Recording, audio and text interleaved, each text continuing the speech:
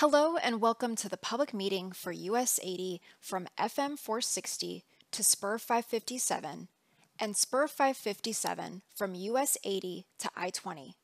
We appreciate your interest in this project and thank you for your participation. Please note, you can pause this presentation at any point to allow more time to review the information. This public meeting has been convened by TxDOT and is being held to receive and consider comments from the public regarding studies and evaluations of US 80 and SPUR 557. You may have attended previous public meetings conducted by TxDOT. However, for the benefit of those who have never attended one, we will explain why and how the department conducts a public meeting.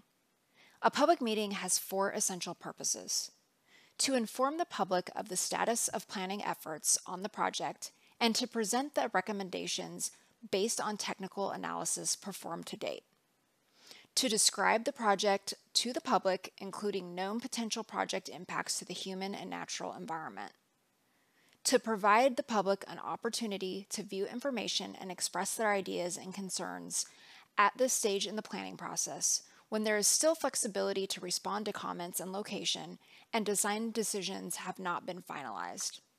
And finally, to develop a record of public views and participation to accompany recommendations for subsequent decisions. This public meeting is being held in compliance with both federal and state laws. Documentation of this meeting will be made available for the official record. The design schematic and other project information for US 80 and SPUR 557 may be viewed at www.keepitmovingdallas.com slash US 80 dash SPUR 557. The information on this website is the same information being shown in this presentation. The US 80 project limits are from FM 460 or Clements Drive east to Spur 557. Along Spur 557, the project limits extend from US 80 to I 20. The total project length is approximately 12.1 miles and is located in Kaufman County, Texas. The project is located within the cities of Forney and Terrell. This public meeting will cover current TxDOT efforts regarding proposed improvements to US 80 and Spur 557. These improvements would reconstruct both routes and include widening from four lanes to six lane main lanes and two to three lane one way continuous frontage roads, ramping and intersection improvements, bridge replacements, and constructing shared use paths and sidewalks. The project's purpose is to improve safety and mobility. The proposed project is needed to improve safety and meet future travel demands from projected population growth and traffic volumes. From FM 460 to Spur 557, the existing US 80 typical section is a four lane divided highway divided by a grassy median. Frontage roads are one way continuous, one to two lane frontage roads in each direction. Existing right of way varies from a typical 300 foot width up to 400 feet along US 80, and there are no bicycle or pedestrian accommodations. The proposed typical section for US 80 will be a six lane divided highway with a concrete barrier along the center line. One way continuous two to three lane frontage roads with ramping improvements, shared use paths, and sidewalks would be constructed. Proposed typical right of way width varies from 300 to 430 feet. From US 80 to I 20, the existing Spur 557 typical section is also a four lane divided highway divided by a grassy median. However, its frontage roads are discontinuous and two way in some instances. Existing right of way varies from a typical 360 foot width up to 400 feet along Spur 557. There are typically not continuous existing sidewalks or shared use paths. Proposed typical right of way width varies from 380 feet where right of way is not being acquired to 500 feet where right of way is being acquired near Las Lomas Boulevard. The proposed typical section for Spur 557 would be a six lane divided highway with a concrete barrier along the center line.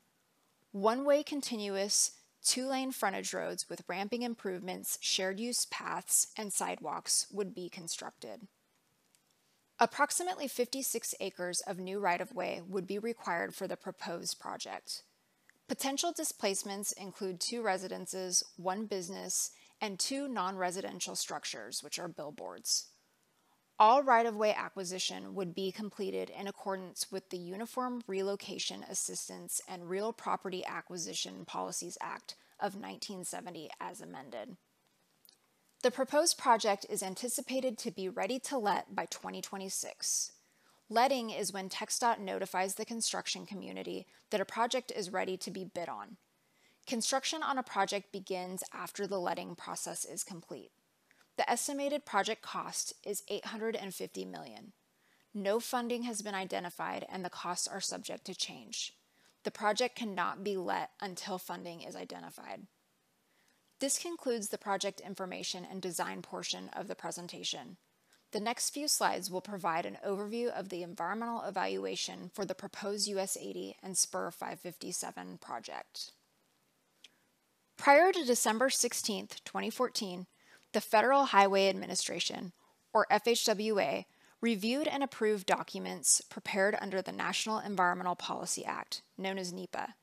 However, on December 16, 2014, the Texas Department of Transportation assumed responsibility from FHWA through a Memorandum of Understanding to review and approve certain assigned NEPA environmental documents.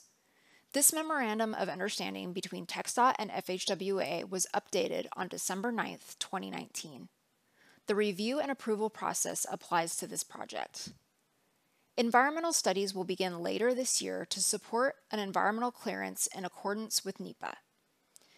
These environmental analyses are necessary to identify, avoid, minimize, and mitigate impacts to the human and natural environment. Notices for this public meeting were advertised in the Dallas Morning News, Terrell Tribune, Forney Messenger, and Al Dia, as well as on www.keepitmovingdallas.com under Public Hearings and Meetings. The TxDOT Public Information Office also prepared a news media release to advertise the public meeting. The TxDOT roadway design schematics are available on the project website at www.keepitmovingdallas.com slash US80 spur 557. The study's environmental constraints map is used to help planners and engineers determine the least impactful method to fulfill the purpose of the project. Some environmental constraints along the corridor include residential structures, businesses, medical centers, industrial centers, fire stations, police stations, streams, schools, cemeteries, floodplains, wetlands, historical markers, and more. Environmental studies will begin later this year. This map can be viewed at full size on the project website. A detailed timeline is shown on the screen and can also be viewed on the project website. Following this public meeting, the project design will be refined per public input. After further schematic design development and environmental studies, a public hearing is anticipated to be held in spring 2023 before final design and adjustments. The project is anticipated to be ready to let in 2026, contingent on funding. Following this public meeting, the study team will proceed with the preparation of the schematic design and environmental documentation. Your comments will be addressed in this document and will be given full consideration in the preparation of the final recommendations and design for US 80 and SPUR 557. Comments will be accepted in several ways as listed on the screen. Comments must be received or postmarked within 15 days of the meeting date, which is Friday, August 12th, 2022, to be part of the official virtual public meeting record. We sincerely appreciate your participation and interest concerning US 80 and SPUR 557. Your questions, comments, and concerns will receive careful consideration. Thank you. This concludes the presentation.